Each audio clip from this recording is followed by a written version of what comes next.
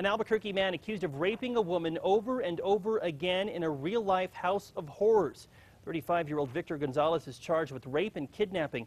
Police say he held a woman captive for days, repeatedly raping, tying up, and torturing her with electrical wires inside his southeast Albuquerque apartment. The woman claims he picked her up on Central after her car broke down. Friday, she was able to escape and tell police. Gonzalez, who claims the sex was consensual, appeared in court today.